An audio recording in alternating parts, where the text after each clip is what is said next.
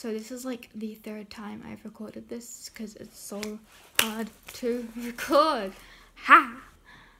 Um, anyway. My story with depression. Um, I had I was diagnosed with depression roughly when I was about nine years old. So and I'm 18 now, so it's a full nine years I've been you know going through this process, and I kind of want to share my story with you guys a little bit because I know I feel like it's something that isn't talked about enough, and it happens to so many people out there. It is insane, and I feel like as a teenager as somebody that wants to speak out about it, as somebody that wants to help people, I feel like I have a duty to help people. So I'm going to. I'm going to try, or at least I'm going to share something that might help you or benefit you in a way. I hope it does. Um, so, yeah.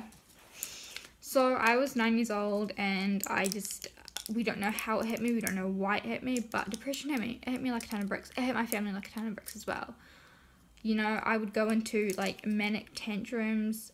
I would have to stay at home. I we couldn't go on. My depression was so bad that we even think it could have possibly been a bit of bipolar. We we don't even really know to be honest. But it was bad to the point where I was, I had tantrums and things when I was nine, and a lot of nine year olds. When I was nine, weren't like that. In fact, a lot of nine year olds aren't like that. And a lot of nine year olds will might might yell at their mum and say, you know, and say they're mean, but they not they won't have a tantrum like I did. And that was kind of the first sign that I had high anxiety and that I had depression and things like that.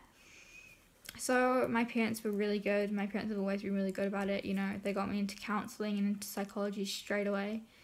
Um, and I was with them for a year, and then you know it sorted itself out. It all quietened down after I'd after I've been going through therapy of how to sort it out in different ways. I could, you know, sort myself out if I need to, um, and just, you know, help to calm myself down.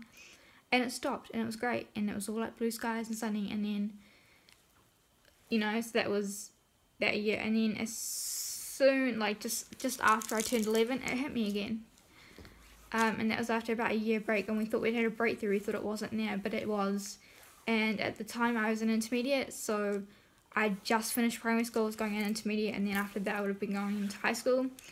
And I mean, I didn't even realize it was hitting me. Luckily, my parents caught the signs. You know, I had OCD, I had anxiety, I had to do everything certain ways like you do when you have OCD. Um, I was very, very quiet and very anxious a lot about really stupid things. Well, they're not stupid, but looking back on them, I think they're kind of silly that I probably shouldn't have even been worrying about. Like, I can't even remember now, but I knew, do know or something like that. So again, I had therapy classes. I had a therapist or like, I don't know, I don't know, a counselor that came to school that used to talk to me to help me keep it on track, that used to help me out with it. I saw somebody after school, outside of school. And you know, it was all it was it was going alright, like it wasn't too bad. And then year eight to year nine, because I was transitioning from intermediate to high school, it really hit me. It hit me and my family like never before. It was like a tornado that wouldn't stop and it didn't stop till I was like year 11 or something like that. It was quite bad. It was vicious, guys. Um, I had a counselor coming to see me at school. I had counselors at school that I would go and see. I usually wouldn't go a week without bursting into tears at one point. I was getting bullied at high school as well in year nine, so that probably didn't help, especially because I had because I've had I had high anxiety. It probably didn't help either. I wasn't sleeping, and because of that, and because when I get tired, I turn into just a bear. I just get really scary and really just I just I turn into just an angry little bear, and it's never ever fun. So my parents are having to try and deal with that as well as my twin, because I've got a twin sister um, and you know family and stuff like that. And they were and I don't know how they did it to be honest. I was a mess.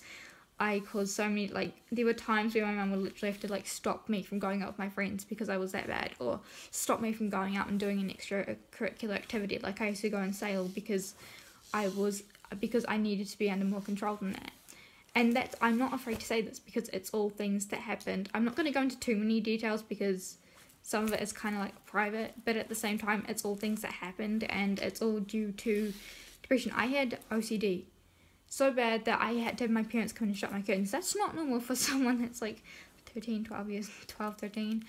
I had to have a nightlight and everything. I'm not gonna lie, like I went through a lot of this and it was horrible and I mean back then I hated I did not like the people. I didn't like my therapist, I didn't like my psychologist, but looking back they did everything they could.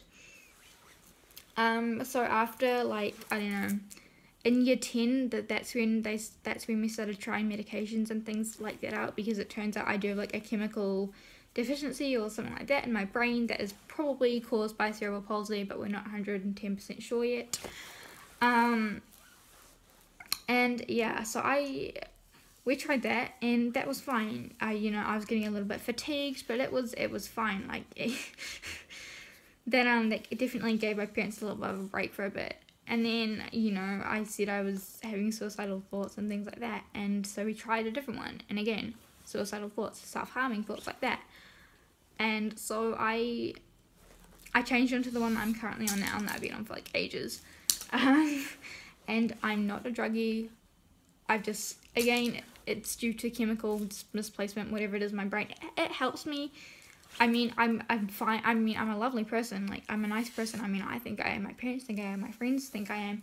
It's just I can get a little bit oversensitive and a little bit over anxious, and sometimes these just help. I'm not gonna lie. They they help um, and they have helped me and my family tremendously and I want a tiny dosage and you know what I'm fine with it like I'll learn to deal with it someday but for the moment as I'm going through a lot of changes and a lot of anxious changes I'm I know myself well enough now to know that I want to stay on them because I want just to like I'll in the future guys I'll be fine without these. It's just as I'm going through so many changes now with moving to England with college and everything, I know myself that I don't necessarily want to try coming off these just yet. And it's a personal trait. It's not the doctor saying no, you're not allowed to come off those. They tell you, you know, without those you're a monster because it's not like that at all. It's a personal decision. The doctors actually think I could come off these straight away. Um, but again, it's my decision, and again, it's also a decision I'm making for my family because my parents are under a lot of stress as well with moving and everything, and yeah. Anyway, so I've been on those since roughly year 11, year 12, year, oh, year 11, year 10, year 11, so that's what, three, four years?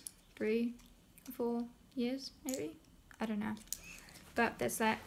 Um, they've helped me a lot, you know, I haven't I stopped, I was discharged from psychology and counselling in year 10. I think it was year 10, or was it year 11? No, it was year 10. I was discharged in year 10, I think. Or at either at the end of year 10 or the beginning of year 11, I was discharged from psychology and counselling, which was good, and I haven't been back ever since. I've been doing really well. I'm proud of myself, I'm proud of my family. I've overcome depression. It's something that I still every now and then. Sometimes I crash and burn a little bit, and I just still at home. I just do it in my bedroom. I just crash and burn, and then within like an hour of crying and letting it all out, I'm fine.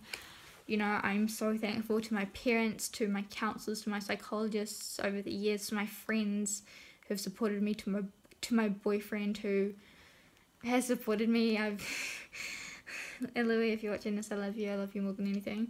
Thank you for everything. Um, and to my parents for actually supporting me through this journey. Like, depression, guys, it's not a disease. You cannot catch it. It's a mental illness. It's a hard mental illness to deal with. But just because someone has depression does not mean they're a monster. It does not mean they're different. It just means that they have something extra to deal with. And that's fine because there's a lot of help out there and there always will be. And my cat just came in. There's a lot of help out there. There's a lot of therapy. My advice is if you have depression, talk to someone about it because everyone says that, but I really do say it. I when I when I say it, I mean talk to someone about it. Talk to a trusted adult, to a trusted friend about it because it really does help. Talking helps a lot. Phone a kids line, phone a phone a helpline about it. Another thing that helped me is finding something that I love. I love cooking. I love sports and I love music, and those are all those three things together are things that really have helped me through. I've I, you know, now when I get into a bit of a depressive mount, I put music on and I start dancing because it helps me, or I go and bake, or I listen to my favourite songs on my phone. Just find something that you love because that really will help. and find someone to talk to because that will save you. Um, and like I'm always here, so never ever be scared to reach out because there's so so so many people going through it. There's so so so so so so so many people going through it. You just you don't really know. No one really knows. And don't be afraid to ever just don't be afraid to reach out. Like just reach out because people are here, people are people, and it's important that we all work together as humans and as people to really help knock depression on the head and get it out there because it's not fun. And I know the struggles, and